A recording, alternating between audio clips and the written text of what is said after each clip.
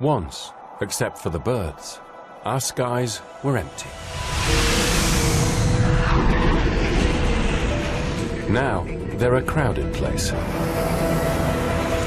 It's like chaos, but it's controlled chaos. Every day, 6,000 planes My pride and joy. There's nothing we can't transport. and 600,000 people are in the skies above Britain.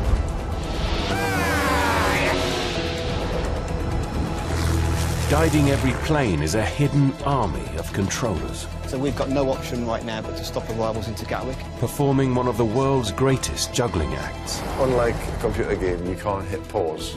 They come in. A place of adventure, Well, that was fantastic. wonder, When you're up there, nothing else matters.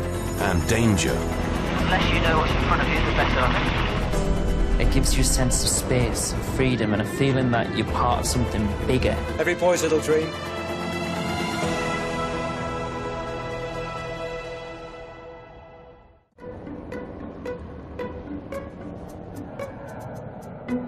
The sight of a 450-ton jumbo streaking across the sky inspires wonder in some.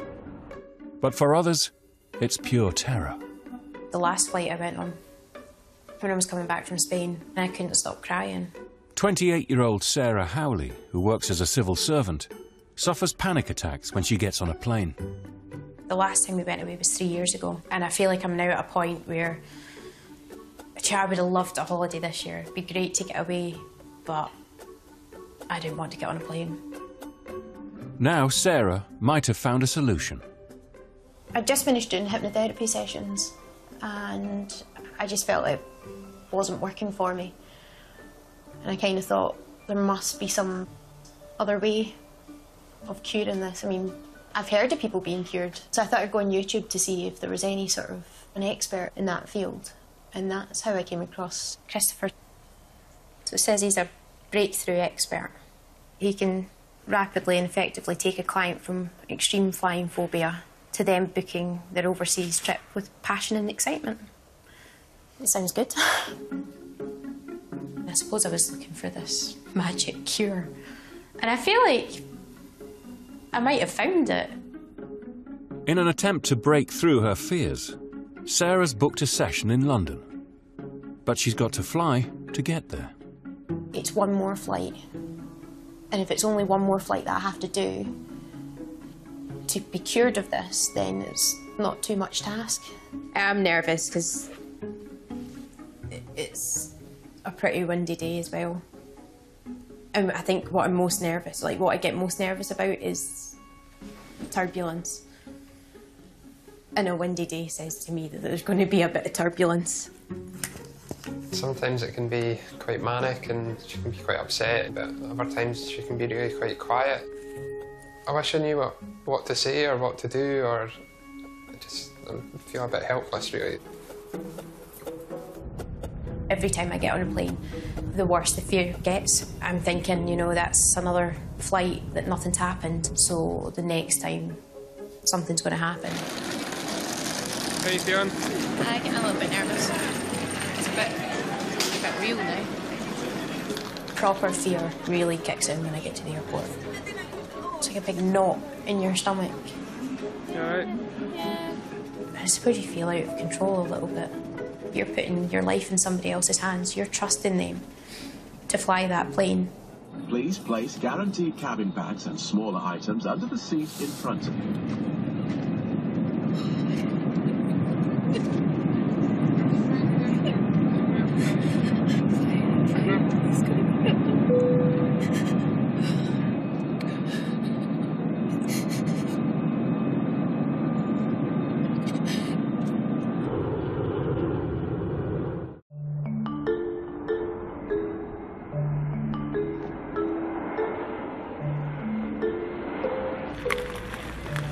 You'll be fine. Oh no, you will. Yeah, well, Next time I see you, you'll be looking for a cliff flight. let's hope so. Back on the ground in London, Sarah's off to meet Chris, an integrated therapist who claims he can cure her lifetime fear of flying in one short session. Hiya. I'm Chris. How Nice you to doing? meet you. How you I'm doing? Cyrus. Grab a seat. Now you focus on the tip of this pen. Just allow your eyes to go from left to right as you think about that event now. The treatment involves an unconventional blend of mainstream psychology and more experimental techniques. Be with it in front of us. Okay. And we're going to expand our awareness so we can still see both fingers, but we're looking straight ahead, if that makes sense. And now I want to talk to the part that stores all your emotions. The aim is to uncover the key event that triggered Sarah's fear of flying. When I was at primary school, mm-hmm. thinking about going up to high school, it's change. Change. Don't like change. Fear of change. Okay. Very often it's not related to fear of flying at all. It could be a fear of control, it can be a fear of letting go, but the unconscious mind has made those two the same, and when you untangle one, often the other one will start to untangle and fall away. With me. Mm-hmm. Focus on that event. Just tap here. Even though I need to relax, Even though I need to relax, I totally love and accept myself. I totally love and accept myself. Notice what thoughts and feelings come up. Notice what comes into your awareness. Just lots of worry. People telling me I'm being silly, but just still can't forget it. Yes. Tapping on acupressure points claims to remove negative emotions. If you'd never gone to high school, what would you have not had? So if I hadn't went, I wouldn't have. Yeah, I wouldn't have gained an education, I suppose. Yeah. And so when it comes to your fear of flying, what would you tell yourself? That future you that has got over it. Just relax and enjoy yourself, and make it part of your holiday. Yeah. Make it an enjoyable part of your holiday, and it can be. Feels okay. It doesn't feel. it doesn't feel bad. Well, thank you very much for coming. Thank you.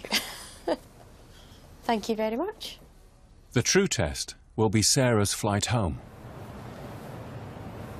I just feel really, just feel really relaxed, and the thought of the flight tonight, just, uh, it's not really bothering me. How's it going? You alright? Yep, I'm feeling fine. Looking forward to getting on the plane and reading my book. It's not bothering me at all. Let's go. Yeah, let's do it. Let's go. People at work bring these back when they've been on holiday. Nice. So I'm going to do it this time because I'm coming back from the airport.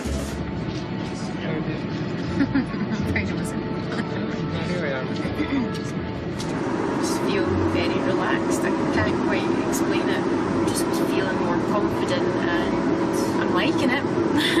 I'm liking feeling this way.